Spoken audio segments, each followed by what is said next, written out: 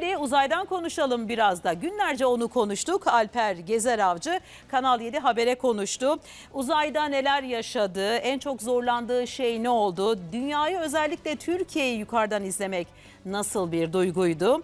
E, tüm bunları e, arkadaşımız Merve Amaç sordu. Arda Ateş'te haberi görüntüledi. İşte o merak edilen sorular ve Alper Gezer Avcı'nın cevapları.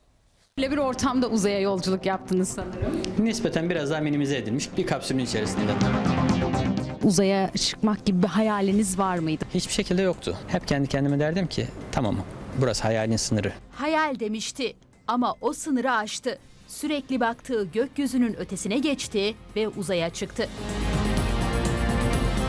Bursa'da Gökmen Uzay ve Havacılık Eğitim Merkezi'ndeyiz. Neden buradayız diye sorarsanız çünkü merkezin içerisinde bizleri uzaya çıkan ilk Türk astronot Alper Gezer Avcı bekliyor. Kendisine merak ettiğimiz soruları yönelteceğiz.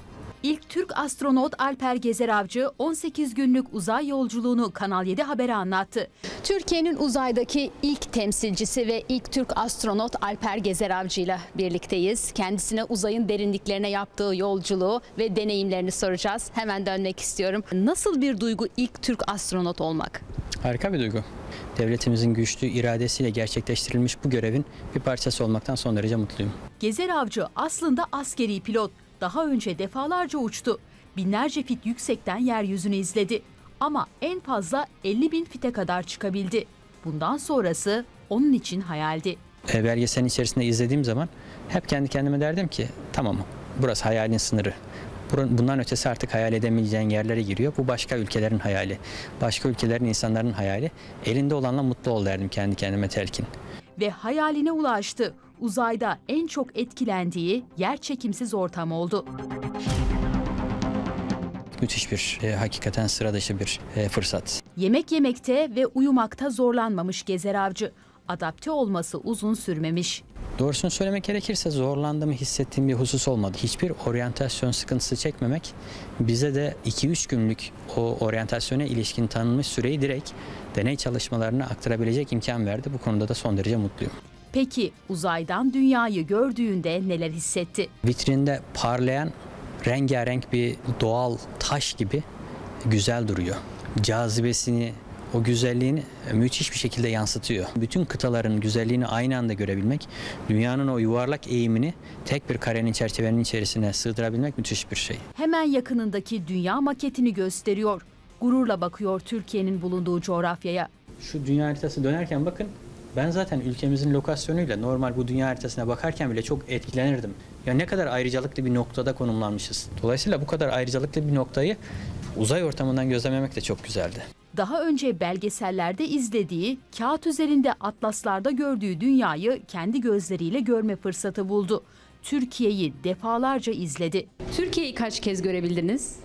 Çok kez görebildik. Yani her üç günde bir Türkiye'nin üzerinden bir şekilde rotamız geçiyor. Fotoğraf alamayan arkadaşlarımız vardı. Ülkesinin üstünden kat edemediğimiz için. Gezer Avcı vatandaşlardan gelen binlerce soruya da hiç üşenmeden cevap veriyor. Kendisine gelen en ilginç soruysa uzaylı gördünüz mü? Küçük bir kardeşimizin sorusu oldu. Uzaylı gördün mü? Ee, dedim henüz görmedim. Ama görürsem senin selamını ileteceğim. Ee, senin selamını iletirsem bana hiçbir şey yapmayacaklarına inanıyorum diye söyledim. İlk Türk astronot Alper Gezer Avcı uzayda 13 farklı deneye de imza atmıştı. Peki o deneylerin sonuçları ne zaman belli olacak? detaylı analizleri gerçekleştiriliyor. Ben orada deneyleri gerçekleştirdim ve sonuçlarını elde ettim. Bu sonuçların şimdi tahlil aşaması geliyor. İnşallah yakın zamanda Haziran'dan itibaren e, yavaş yavaş birkaç deneyden başlamak üzere bunların sonuçlarını elde etmeye başlarız. Gezer Avcı uzaydaki deneyimlerini gençlerle ve çocuklarla paylaşacak. Röportajımızı da onlara mesaj vererek noktalıyor.